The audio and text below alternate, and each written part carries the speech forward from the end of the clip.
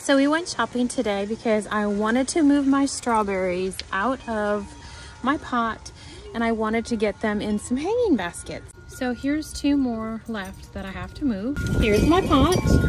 Go ahead and fill it up with soil. We'll go ahead and get our strawberry plants removed from the pot. Place them in the new pot. And we'll go ahead and get that filled up with soil. And here we go. Hanging plant number one, number two, and number three.